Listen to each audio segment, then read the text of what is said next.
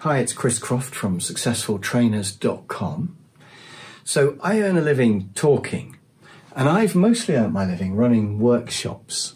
So this is where you spend about seven hours, a whole day, working with a group of people, teaching them about negotiating or project management or something like that. But you can earn a living speaking by being a keynote speaker. And here you just speak for about 45 minutes. And the keynote speakers that I know charge between probably one and a half thousand pounds up to about five thousand pounds for 45 minutes. Now, obviously, if you're a sort of Olympic gold medalist or one of the royal family or an ex prime minister, you can charge a lot more than that. But normal keynote speakers are in this sort of range. Now, the seven hour stuff that I do, we tend to get paid between probably 1,000 and 2,000, let's say. 2,000 is, is upper end of my game. So you might look at that and think, well, there's no doubt which one's easier. And obviously, this one here, this 45 minute one, I suppose is a bit more scary. But actually, I wouldn't describe it as scary. I would say that actually, if you're looking at pros and cons, this one gives you a real buzz. It's actually really fun. And I do the occasional one of these, and I do get a bit nervous beforehand. But when I do it, I absolutely love it. So it gives you a real buzz, and it does give you a really good pounds per hour ratio. That's certainly true. But there are some snags with doing a keynote speaking, and this is really why I haven't spent my whole career doing keynote speaking. And one of them is that there's a lot more travel. Now, don't get me wrong, there's a certain amount of travel in these workshops, but the keynotes, quite often you have to go all over the world.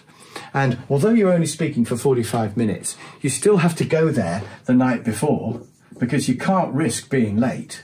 You know, you can't turn up half an hour before you're on stage in front of 500 people. So you have to go up the night before and you have to hang around all afternoon and listen to all the other speakers and it's all a bit grim. And in the end, it still is a whole day of your time. Um, but the other problem with these things is that the selling is much more difficult. Uh, and the preparing, which is part of the sales process. You often have to have lots of meetings with the customer. You have to understand the company in detail, and they want you to do a run through, and then they fiddle with what you're going to say. And this whole selling process is a nightmare. Because they're paying you so much money for 45 minutes, they're really fussy about it. Um, and so often you need an agent for that, and the agent is taking a fee. Quite often the agent's fee is on top of that. So the customer's paying 10 grand and you're only getting two or whatever it is. But you need to get into an agent, and agents are pretty fussy about who they take. So that's all, that's all pretty messy.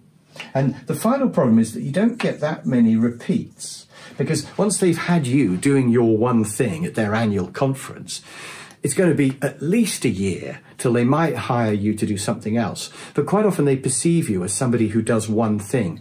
And a lot of these speakers do only do one thing and they're known for doing one thing really well. So you don't get a lot of repeat work. You have to just wait for the agent to find another customer. So there are snags with keynote speaking although I do obviously take it if it comes up, and I love doing it. And some of my customers who I've done workshops for have asked me, Would you like to talk at our Christmas conference or whatever? And the answer is absolutely yes, I would.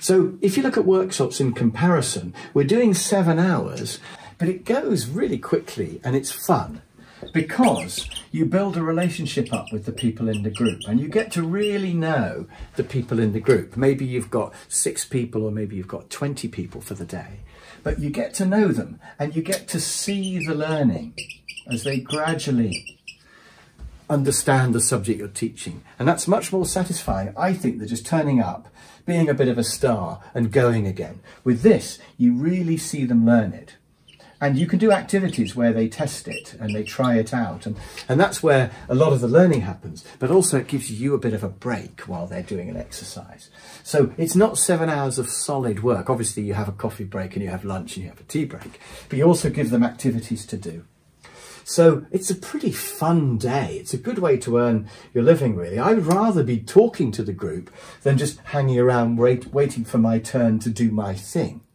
So it's not as if the talking is, is the hard part. It's just the amount of time they take. And they take a similar amount, really. But obviously this one does pay better per day as well as per hour. So really the only snag with this one is that it is a long day and still you might have to go up the night before. I mean, you know, there's still there's still quite a lot of travel involved, but but often you don't have to go quite as far a afield as you do for the keynote speeches. And then the final advantage of the workshops is that you do get repeats. So they will almost certainly ask you back to do the same for another group, or they'll want to do part two, or can you help them with a different subject? So once you've got a customer, you'll have repeats forever. So there's very little selling involved, and there's a lot of selling involved with the keynotes. So those are some of the pros and cons of the two methods. You could become a keynote speaker and just do one or two per month, or you could become a trainer and you could do one or two per week. You'll probably end up earning roughly the same. You'll probably end up having to do more presenting if you're doing workshops, but they're easier, they're more fun, there's more repeats, there's less training. And I think there's a lot to be said for being a workshop person rather than a keynote speaker. But they're both parts of training, and of course, you can do both. So if one of these comes up, take it. So there we are. Hope that's been a useful overview of a couple of the options. If you want to know more about all this stuff, if you want to get into either of these things, contact me on successfultrainers.com, book an appointment, we can chat, and that would be really fun. I would enjoy that. So maybe I'll talk to you soon. Bye for now.